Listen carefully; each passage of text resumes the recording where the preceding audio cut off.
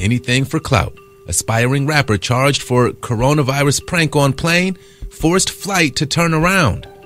In today's edition on When Doing It for the Gram Goes Wrong, 28 year old James Potok, an aspiring SoundCloud rapper from Canada, has been charged with mischief and breach of recognizance after proclaiming to fellow plane passengers that he was infected with the coronavirus, which caused the WestJet flight to turn around.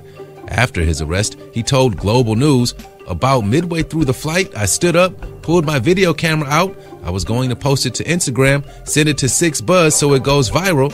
I looked around. I said, Can I get everyone's attention, please? And I followed it up by saying, word for word, I said, I just came back from Hunan province, the capital of the coronavirus. I'm not feeling too well. Unfortunately for him, no one laughed at this dangerous plane prank. For more, visit bossip.com.